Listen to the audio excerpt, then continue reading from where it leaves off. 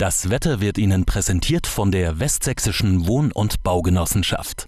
Bei uns wohnt die Zukunft. Nach einem recht windigen Freitag starten wir morgen wechselhaft in das lange Pfingstwochenende. Bei gelegentlichen Schauern lässt sich auch mal die Sonne blicken. Die Höchstwerte liegen bei 19 Grad. Der Sonntag kommt ebenfalls durchwachsen daher. Bei 22 Grad muss mit vereinzelten Schauern und auch Gewittern gerechnet werden. Die neue Woche startet bei Werten um die 24 Grad mit ganzen 11 Sonnenstunden. Im Tagesverlauf gesellen sich ein paar harmlose Wolken dazu. Am Dienstag geht es dann wechselhaft mit gelegentlichem Regen und Gewittern weiter.